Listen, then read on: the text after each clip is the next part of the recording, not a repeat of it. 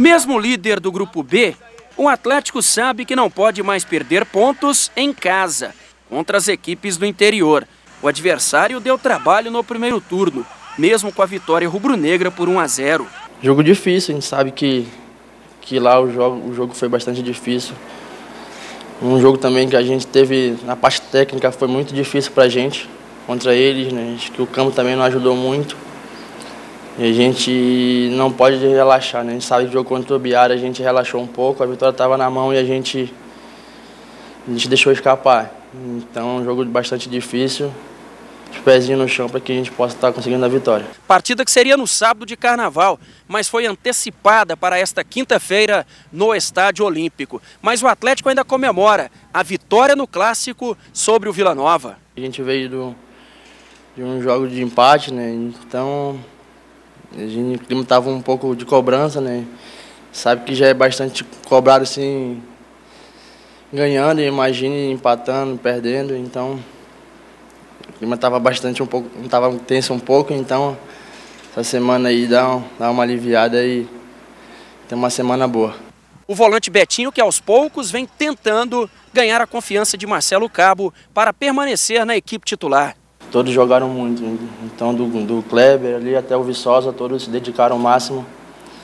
Continuar trabalhando para que eu possa estar botando uma pulga atrás da orelha lá no Marcelo. Aí o Betinho. Tem cara de meninão, assim, parece o Cubo aqui nosso, não parece? 22, Carlos Cubo. É verdade. Parece mesmo. Cabelão escorrido de É. índio, né? E É ele jogou jogador. bem contra o Vila. É bom jogador, já Ele já fez? tinha jogado bem contra o craque. Contra o Vila na estreia também. Na estreia jogou. também. Não, pois é. Aí eu fiz o jogo contra o craque, aqui o Atlético venceu 1x0, ele tinha jogado bem. Aí o Marcelo voltou a Buda contra o Itumbiara. Foi. Não foi bem, voltou o rapaz contra o Vila Nova. Ele foi contratado lá do Mirassol, no interior de São Paulo. Dá conta de jogar, joga direitinho, Betinho. Dá porque tem um bom passe. Com um volante é meio caminho andado, né, Vano? Jogador que tem qualidade, tem recurso, sabe desarmar e tem qualidade no passe, então é um jogador que é muito produtivo. O time acaba tendo sequência, rende. A gente está cansado de ver muitos volantes que têm bom desarme, mas que não tem um bom passe, né? A jogada acaba não rendendo tanto. E o Betinho é um jogador que dá muita qualidade. Eu mesmo quando o Marcelo fez essa mudança, ou estava às vésperas de fazer essa mudança, você até questionou aqui, eu falei, olha, para mim o Betinho é titular absoluto, não, não, não tem nem que questionar.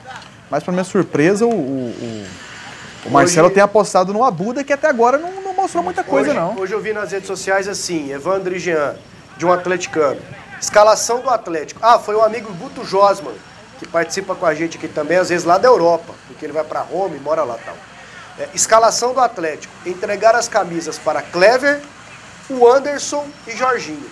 O restante, você pode tocando o barco. Para ele, os três. E aí ele tá fazendo mais referência ao Anderson, né? Que foi reserva Foi. contra o Vila Nova, para ele já tem que ser titular. Ah, São jogadores que merecem a condição de titular, sem dúvida alguma. O elenco do Atlético não dá tantas opções assim em disputa de posição em relação a alguns atletas, alguns jogadores. Então, na lateral esquerda e o Anderson, até na meia mesmo, tem condição de ser titular. Demonstrou que tem qualidade na bola parada, é um jogador que é técnico, assim como é o Betinho também, o Jorginho. Então, tem dificuldades, né, o Marcelo Cabo, para mexer naqueles atletas que hoje estão jogando como titulares. Tranquilo, quinta contra o Iporá, O Evandro? torcedor falou aí do, do problema desses jogadores, esqueceu do Roger Carvalho, certamente chateado pela partida contra o Itumbiara. Que ele foi mal, Onde ele né? cometeu Bom, né? dois pênaltis, mas é um jogador titularíssimo no time do Atlético. Quinta é tranquilo? Eu acredito que sim. É, futebol não tem hoje tanta tranquilidade, mas espera aí. O Atlético jogando aqui, com a chance de assumir a liderança, a ponta do campeonato diante do Iporá, com todo o respeito que merece o time do Iporá, eu acho que são três pontos.